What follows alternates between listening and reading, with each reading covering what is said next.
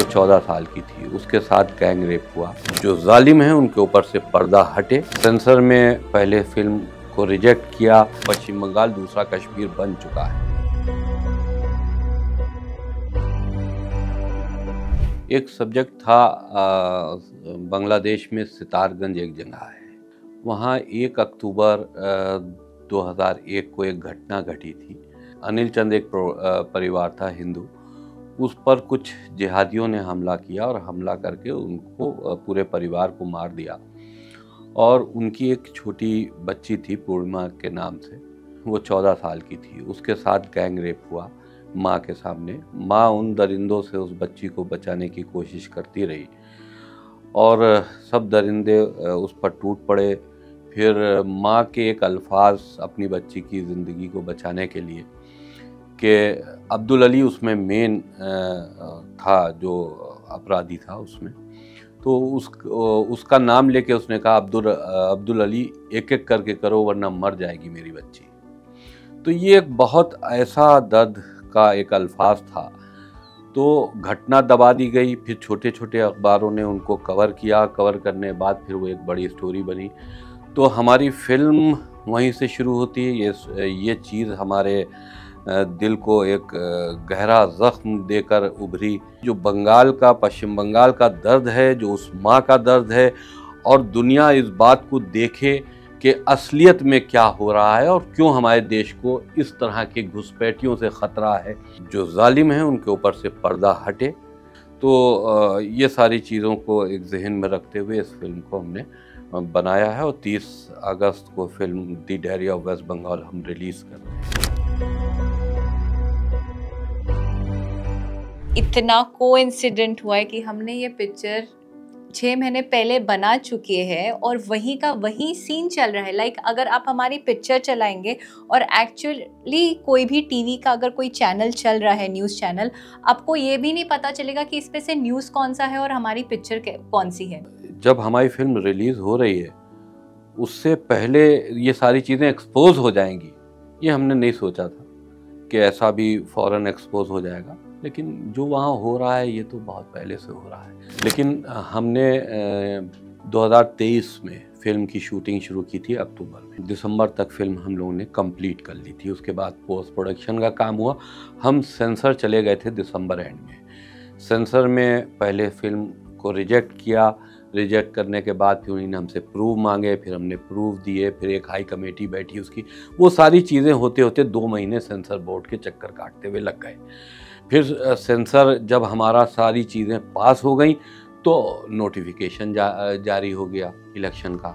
तो उन्हीं ने हमारा सर्टिफिकेट रोक दिया कि साहब ये सर्टिफिकेट अब आपको नोटिफिकेशन के बाद मिलेगा।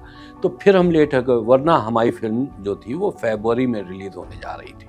तो ये सेंसर बोर्ड की मेहरबानी है कि उन्हीं ने हमको इतने दिन दौड़ाया?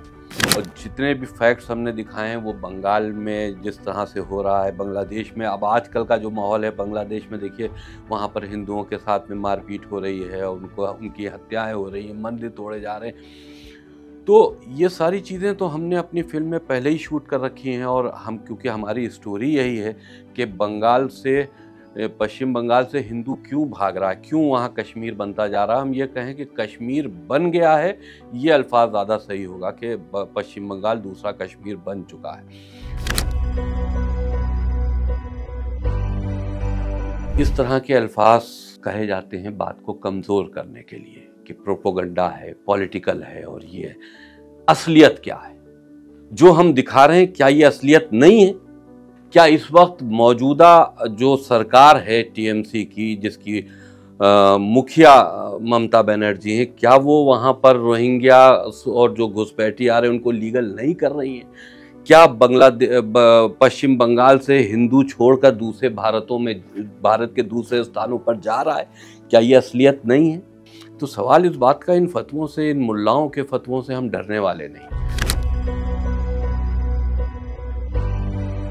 हमने अपनी फ़िल्म में मदरसा भी दिखाया है। मुर्शिदाबाद का एक हादसा, जितने भी हमने दिखाए, वो सारी चीज़ें घटना के रूप में घट चुकी हैं।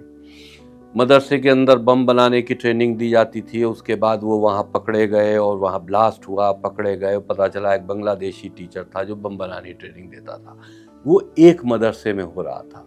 लेकिन जब बात कही जाती है, टॉपिक चलता है तो वो फिर पूरे हिंदुस्तान के मदरसों पर सवालिया निशान खड़ा करता है।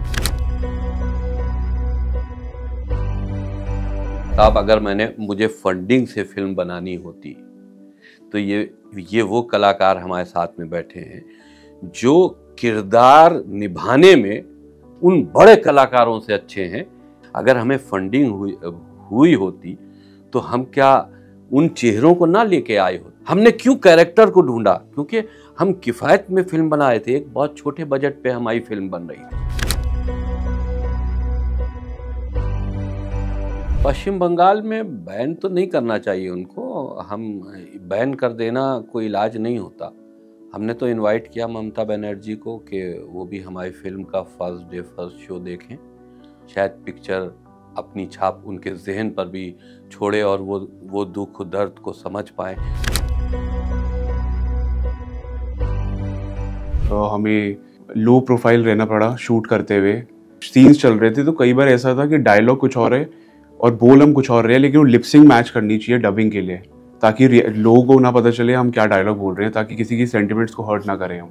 I think 99 to almost 100 percent हमने वो अचीव कर लिया इधर ऐसे शूट करते ये यू नो जैसे भी हमें करना था लिपसिंग करके किया।